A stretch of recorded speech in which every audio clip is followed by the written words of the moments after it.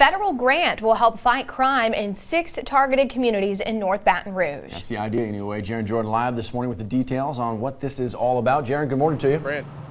Hey, good morning to you, Matt and Lauren. Uh, a lot more activity here outside of Capitol High as school gets uh, underway in just a couple of hours tonight. A little bit of a different crowd as the school is the site of the first of three public meetings to address a federal grant that will help fight crime in six communities around North Baton Rouge. Those six communities include uh, Istrouma, Midtown, Eden Park, the Greenville Extension, Smiley Heights, and Melrose East. You know, crime is not a new phenomenon here in Baton Rouge, and really violent scenes have played out far too uh, they're, they're far too common. So as city parish leaders and now federal officials look to see uh, some of the problems that lead to these uh, violent scenes, they've identified issues like blight, a lack of youth activities and programs, uh, a lack of collaboration among residents and community organizations. So this federal grant really hopes to eliminate some of those problems by doing things like providing after-school activities, uh, worker training, and other things like that. So these meetings uh, that start tonight and will last over the next week and a half or so uh, hope to educate the public. They're the Family Fun Night meetings. They hope to educate the public on how this federal grant will be used